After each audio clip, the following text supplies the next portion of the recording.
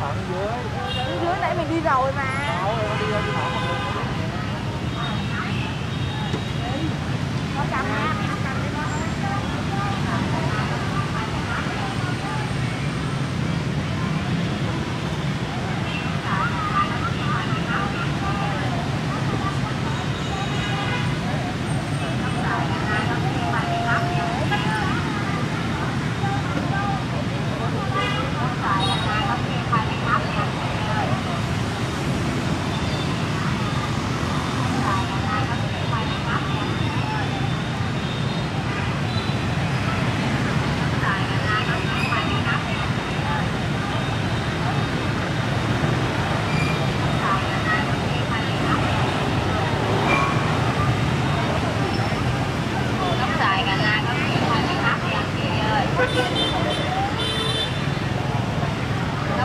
là có kẹp phải bị hấp nha chị ơi